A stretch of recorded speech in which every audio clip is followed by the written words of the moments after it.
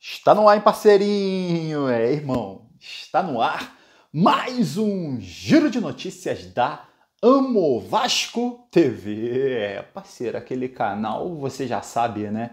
Eu sei que sabe, mas tem gente que não sabe e tá chegando aqui agora. Eu sou o Felipe Bigode, aqui é a Amo Vasco TV, canal que não tem fake news, não tem sacanagem com você. São vídeos mais curtos, tá? Com as principais notícias do dia no nosso Vasco da Gama. É, você chega curtindo o vídeo, comentando e se inscrevendo no canal. Claro, se você não estiver inscrito, para dar aquela moral pro bigode toda vez que você curte e comenta. YouTube joga o vídeo para mais vascaínos e isso ajuda o canal a crescer. Parceiro, queria agradecer, né? Agradecer a galera que participou do abaixo assinado, né? Que a gente estava, a gente divulgou aqui um abaixo assinado, né? Pedindo para a CBF uma homenagem para o Roberto Dinamite, maior artilheiro do Campeonato Brasileiro, né? A gente estava pedindo para ter um troféu para o artilheiro chamado Roberto Dinamite, né? Em homenagem ao jogador do Vasco, ídolo do Vasco, que é até hoje o maior artilheiro do Campeonato Brasileiro, tá? Essa bola foi levantada num programa da Sport TV pelo Júnior Capacete, né? E aí o Frank Rezende, que é diretor da, da Amo Vasco aqui de Uberlândia, entrou em contato comigo, né? No dia 17 de, de dezembro. Então a gente resolveu colocar no ar aí esse, esse abaixo assinado, a galera participou, a galera que, que, que assiste a Amo Vasco TV participou isso chegou até o Rodrigo Dinamite, filho do Dinamite, e chegou até o Vasco. E aí, no início de janeiro, 8 de janeiro, o Vasco mandou um ofício para a CBF solicitando né, uma homenagem ao Roberto Dinamite através do troféu de artilheiro do Campeonato Brasileiro. Ontem, Rodrigo Dinamite disse que foi na CBF vamos ter novidades que o torcedor vai gostar deve estar pintando aí o troféu de artilheiro do Campeonato Brasileiro em homenagem ao Roberto Dinamite. Mais uma vez, quero agradecer, tá? Obrigado para quem participou desse abaixo assinado da, da Amo Vasco. Meu irmão, seguinte, falando um pouquinho mais sobre, sobre futebol, sobre mercado da bola. Orediano, ontem a comissão técnica bateu aquele papo com ele, irmão, ó, ficar no Brasil, esquece!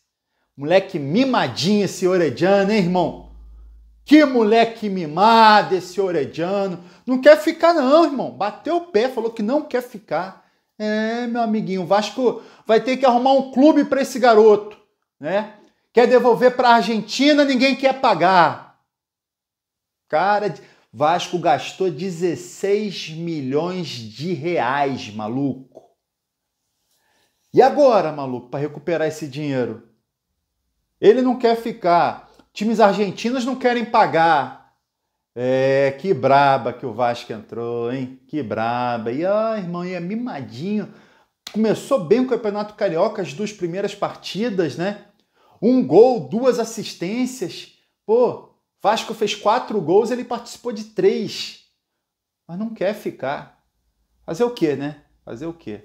Agora, quem quer ficar e a galera tá de olho querendo tirar é o Verrete, tá? Irmão! Grêmio de Futebol Porto Alegrense fez contato pelo Verrete, tá? Fez uma sondagem, né, pelo Verrete e um time do Catar também. Lembrando que o contrato dele vai até o meio de 2025 e o Vasco, né, devido a essas sondagens, o Vasco já procura renovação com o atleta para não perder, não dar mole de perder o atleta, igual perdeu o Germancano para o Fluminense, né? Pô, não dá, irmão. Traz o artilheiro, o artilheiro se destaca, vai para outro time? Não dá, né? Eu espero realmente que o Vasco consiga essa, essa renovação de contrato com o Verrete e que ele fique ainda um bom tempo no Vasco. Ó, hoje tem Vasco e Madureira, tá? Terceira rodada do Campeonato Carioca, nove e meia da noite, transmissão do SBT para TV aberta, Sport TV para TV fechada, Premier Pay Per View, tá? E também Casé TV no YouTube.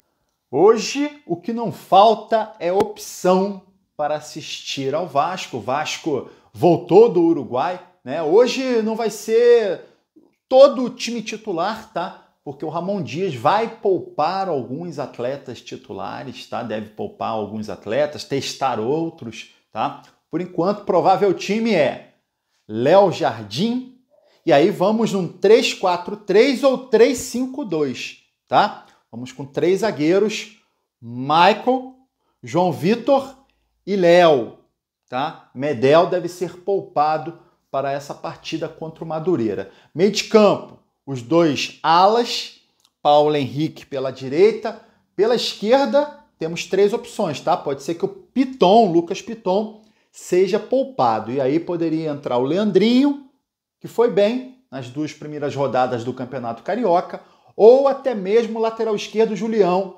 pode ter uma oportunidade aí no time do Ramon Dias. Fechando esse meio de campo, Zé Gabriel ou Jair, tá? E o Paulinho. Isso se jogar 4-3-4-3. Se jogar 3-5-2, tá? A gente pode entrar com o Paier nesse meio de campo ali centralizado. Lembrando, tá? O Vasco com, com o Paier tem jogado com três zagueiros. Hoje o Vasco vem com três zagueiros. Vamos ver se o Ramon Dias vai colocar o Paier desde início ou se vai poupar o atleta.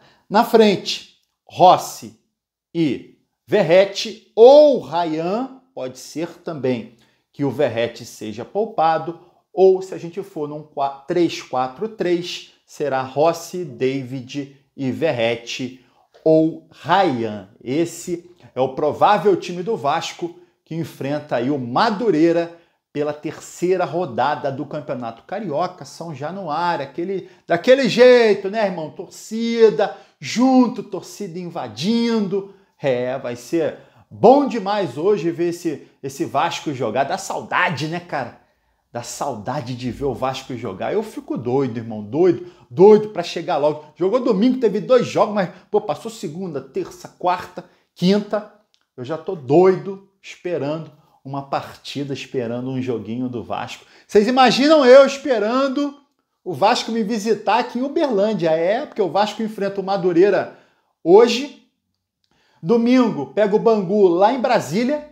Depois, na outra quarta-feira, enfrenta o Nova Iguaçu aqui em Uberlândia. É, irmão, vou invadir, maluco. Vou invadir. Galera tá super animada para ver o Vasco jogar. Parceiro, comenta aqui, irmão. Orediano, maluco. Comenta aqui o que, que você acha dessa situação do Orediano não querer ficar no Vasco e nenhum time argentino ter grana para pagar para levar ele. Que situação difícil. O que, que você faria se você fosse dirigente do Vasco nessa situação? Comenta aqui, ó. E aí você curte o vídeo e se inscreve na Amo Vasco TV para dar aquela moral. Pro bigode eu tô indo nessa, tá? Valeu? Saudações vascaínas.